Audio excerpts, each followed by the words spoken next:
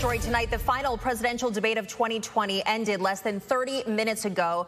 For an hour and a half, President Donald Trump and former Vice President Joe Biden talked about issues and attacked one another, but spent nearly the first half hour talking coronavirus response. Every single move that he said we should make, that's what we've done. He did virtually nothing. And then he gets out of the hospital and he talks about where this is, oh, don't worry, it's all going to be over soon.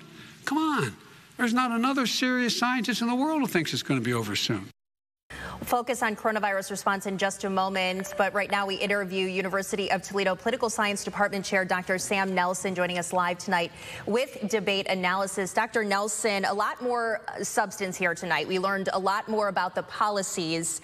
Uh, do you think it was the threat of the mute button, or do you think both of these candidates realize this is really their last chance to get in front of tens of millions of voters?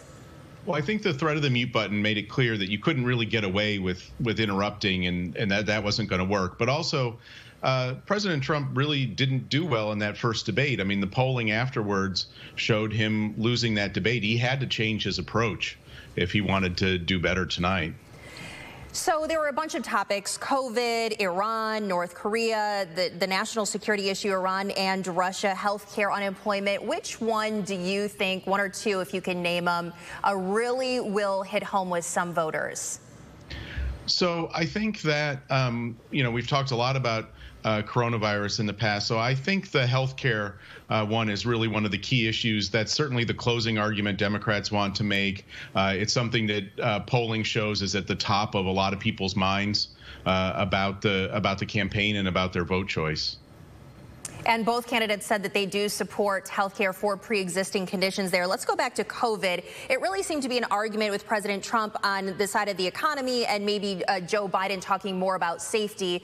Biden seems to indicate every time he talks that he wants a national mask mandate. He wants to give money to businesses and schools to safely operate, whereas the president says the Democrats would close or keep closed the economy. What did you learn from this back and forth? It was about a third of the time of the debate.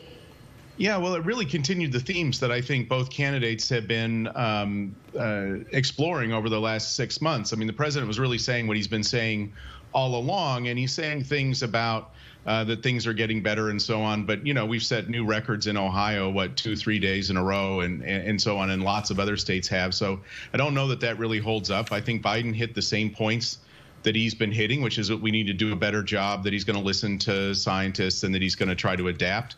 Uh, he's certainly very eager to um, say he's not going to shut the economy down, but uh, you know he's got to kind of work around that uh, a couple of different ways because he doesn't know what the situation will be in January. What about business owners uh, specifically? How do you think they're going to react to both of these policies from the candidates on COVID and the economy and their businesses? So it might really depend on what kind of business you're in, um, you know, and and obviously the things that involved a lot of people uh, in confined spaces, bars and restaurants, they're hurting uh, a lot. Uh, whereas, uh, you know, uh, things like um, you know universities uh, we're, we're, able to to function in a more hybrid format uh, in a lot of ways very effectively. So i think everybody's going to react to that differently depending on the circumstances of of their particular industry but um, you know nothing is going to go back to normal in the economy until covid is solved. Dr sam nelson from the university of toledo thanks so much for your analysis once again tonight. Thank you